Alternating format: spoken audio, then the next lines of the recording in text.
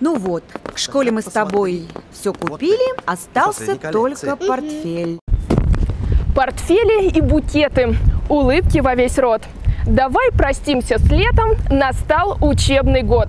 Совсем скоро для школьников наступит 1 сентября. Однако многие из них оказываются не готовы к учебе как физически, так и морально. Как родителям помочь своим детям, мы узнали у экспертов. Кирилл Пестов уже третьеклассник. Учится он хорошо, потому что все успевает. И сделать уроки, и мяч во дворе погонять. За это лето не только успел отдохнуть, но и повторить пройденный материал, чтобы быстрее исправить свою единственную четверку. Мне жаль, что лето уходит, но все-таки в школе есть э, и радостные события, а не только уроки допустим, футбол с друзьями, вообще общение с друзьями, вся, э, бегать с друзьями на перегонки, снежки и многое другое. Настроиться на учебу ему помогает мама. Они вместе составили расписание на учебную неделю. В нем предусмотрено все – занятия в школе, секции, а также время на отдых. Прежде всего, подготовиться нужно родителям, ведь от их состояния зависит и состояние ребенка, и атмосфера в семье, особенно от женщины, от мамы. А, не нужно настраивать негативно ребенка против школы. Вспомните себя в детстве. Ведь это новые знакомства, новые впечатления, новые знания. Также важно с ребенком проговорить, кем он хочет стать в будущем.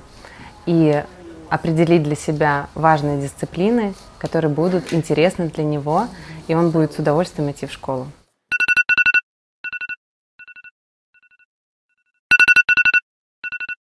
Словам врачей, в первую очередь следует обратить внимание на режим сна ученика. На него должно отводиться не менее 10 часов. Нередко за лето распорядок дня сбивается. Специалисты рекомендуют восстанавливать его постепенно. Укладывать ребенка на полчаса раньше, чем в предыдущий день. Так организм лучше адаптируется к новому графику. Также перед началом учебного года стоит посетить детскую поликлинику. В шестилетнем возрасте ребенок должен пройти специалистов таких, как педиатр, хирург, отоларинголог, окулист, невролог, стоматолог, психиатр. У девочки должны пройти обязательно гинеколога, мальчики также уролога.